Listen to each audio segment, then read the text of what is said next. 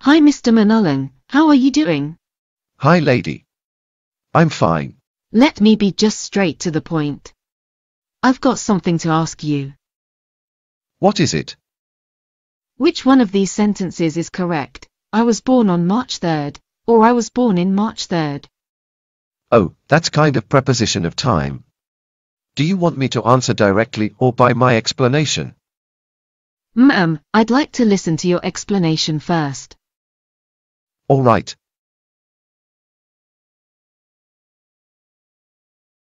English preposition of time. What is a preposition of time? A preposition of time is a preposition that allows you to discuss a specific time period such as a date on the calendar, one of the days of the week, or the actual time something takes place. There are two types of time prepositions in English. First, we will take a look at the basic time prepositions at, in, and on. Secondly, we will cover the functional time prepositions after, before, by, during, for, from, in, to and until or till. Let's deal first with, at, in, and on. Specifically, we use at for a precise time, in for months, seasons, years, centuries, and long periods, and on for days and dates. Let's discuss them in detail. We use at for precise time, such as at plus o'clock. Example. Meet me at 7 o'clock. At plus p.m. or a.m. Example. I have a meeting at 9 a.m. At noon. Example. We have lunch at noon every day. At night. Example. I heard him talking at night. At dinner time. Example. I know of a child who used to go home at dinner time to cook himself chips. At bedtime. Example. I like a hot milky drink at bedtime. At sunrise. Example. At sunrise, the sun looks like a cake. At sunset. Example. They stopped work at sunset. And, at the moment. Example. The house is being built at the moment. We use, in plus part of day, months, seasons, years, centuries and long periods of time. Example. In the morning. I like to go out on walks in the morning. In the evening. I never drink coffee late in the evening. In month. Many people travel to Florida in January and February. In the season. I don't like to take courses in the summer. It is cold in Chicago in the winter. In year, or years. The Winter Olympics were held in Vancouver in 2010. The astronauts explored the moon in the 1960s. In centuries. Example. Automobiles and airplanes became very popular in the 20th century. We use on plus days, dates, and special dates. Examples. On plus day. I have English classes on Tuesdays and Thursdays. On plus dates. My brother and I are driving to Chicago on December 10th. World War I started on September 1, 1939. On plus special dates, or dates of celebration. Examples. My wife and I met on Independence Day 10 years ago. We'll arrive on Christmas Day. We always have a huge celebration on New Year's Eve. On plus weekend. I don't work on weekends. I only work on weekdays.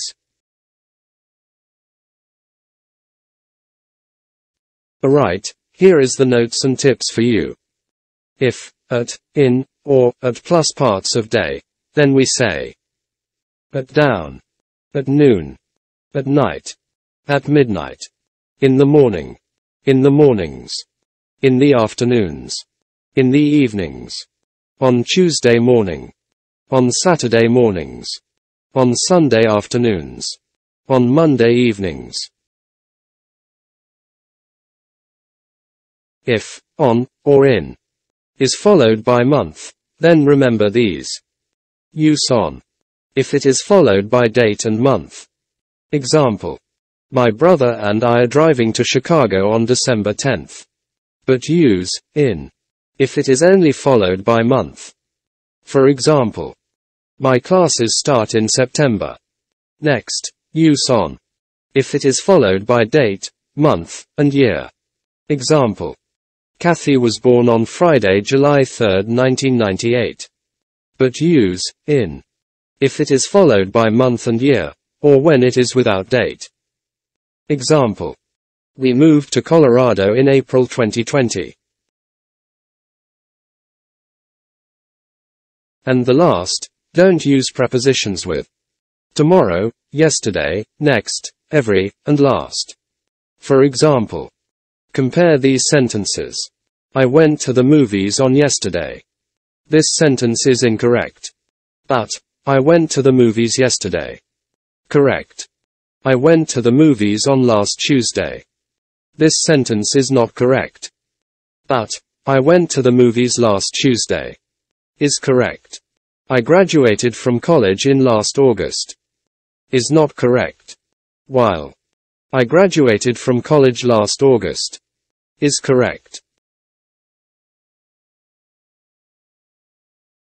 Alright, let's test your understanding by these exercises. Instructions. Write down the sentences below.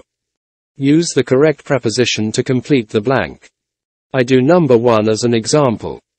1. I like to go to the beach blank Saturdays. The answer is on. Well, continue doing number 2 to 10. You have 15 seconds to answer. Then the correct answers will appear. 2. Do you go to school blank Saturdays?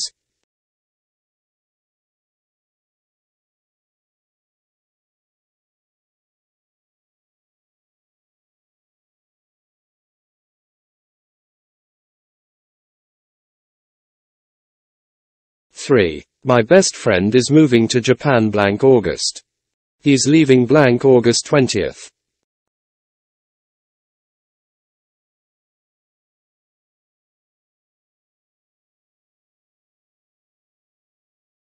4. Don't forget to call your mother blank her birthday.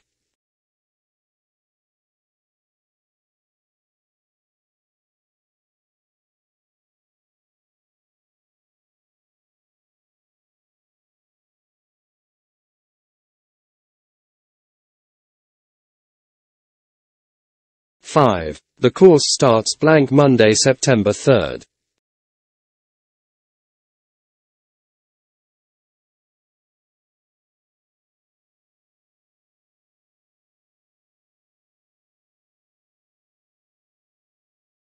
6. Albert Einstein was born blank 1879.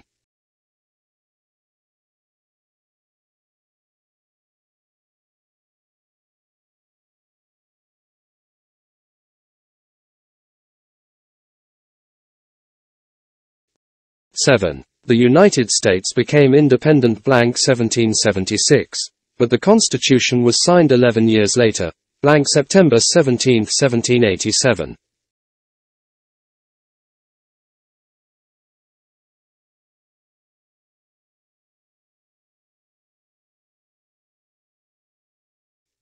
8. What are you going to do blank New Year's Day?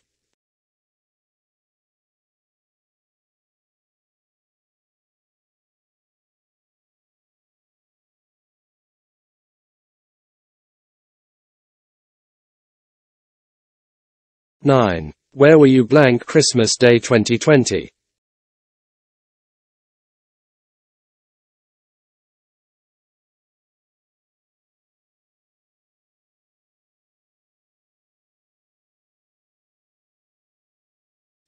10. In the story, the character was born blank a Sunday blank 1886.